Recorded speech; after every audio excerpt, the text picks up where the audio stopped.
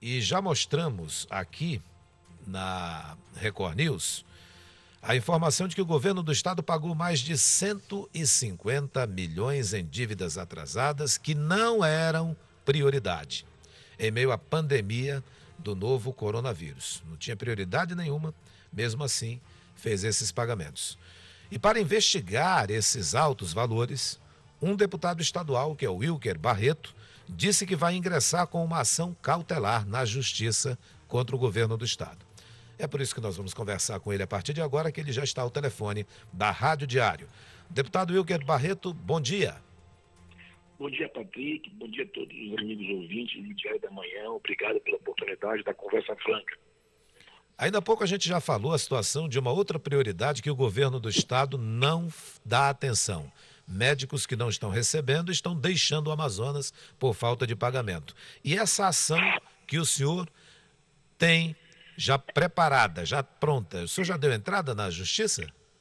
Demos entrada ontem no Tribunal de Contas para que o Tribunal de Contas faça uma auditoria e apure as razões de um governo, nos primeiros dias, pagar quase que 70% de uma dívida que poderia ser paga ao longo de um ano. É essa incoerência que eu discuto, não é a questão da legalidade. Você pode pagar dívidas para trás, mas eu nunca vi você querer salvar o passado matando o presente e o futuro. Pois é, o senhor observa que, além de não pagar, por exemplo, os médicos que já estão deixando o Amazonas desde o ano passado, já no governo Wilson Lima, também não paga a beneficente portuguesa, que é aquela entidade importante aqui da nossa cidade, que tem toda uma organização preparada e acaba tendo esse déficit também por conta da, do mau planejamento do governo. Nós temos, Patrick, a Assembleia e o Tribunal de Contas que olhar com lupa, pagamento por pagamento, para que o governo justifique o porquê de 750 milhões, apenas 22% ser para a saúde. O que justifica um governo que sabia de uma pandemia não acionar e botar para funcionar em convênio um hospital Getúlio Vargas, uma beneficente portuguesa, hospitais que já possuem estrutura. Porque na medida de comunidade pública, Patrick, que ele enviou o governo para a Assembleia, ele faz menção que tinha conhecimento desde o final de janeiro. E por que que não priorizou as vidas?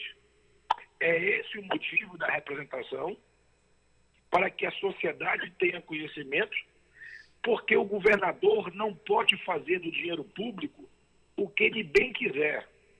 Precisa sim prestar conta para com a sociedade, porque hoje são as vidas de todos nós que estão expostas em uma pandemia que, infelizmente, pela omissão e lentidão de um governo que é lento em tomar as decisões céleres que precisa hoje o Amazonas. E o que é pior, com dinheiro em caixa.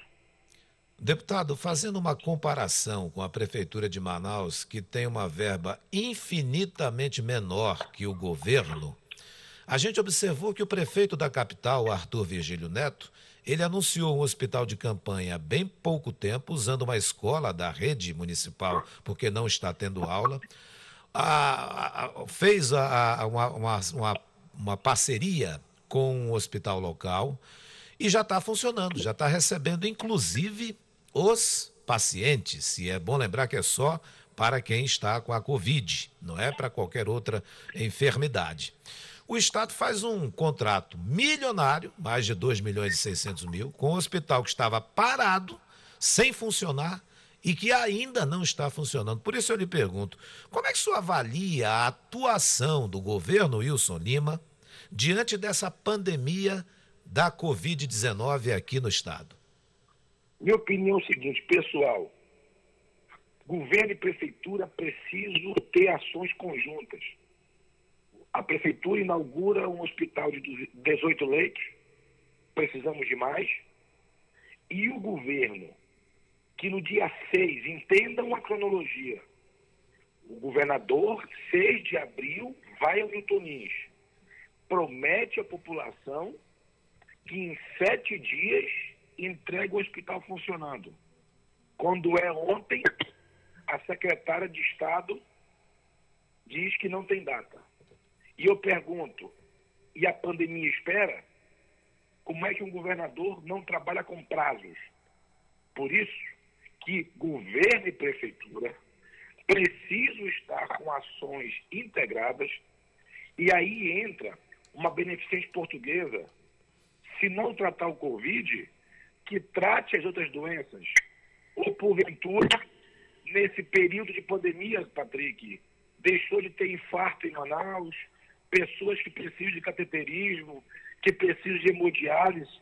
Nós precisamos, com o governo e prefeitura, abrindo as frentes nas outras áreas de saúde e não percam foco no combate à pandemia.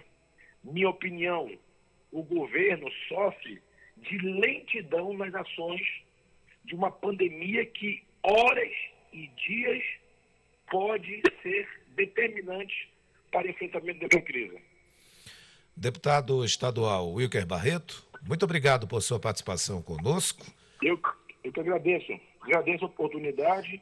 Vamos continuar vigilantes para que os recursos da sociedade não tenham destinos que não sejam prioritários neste momento de crise.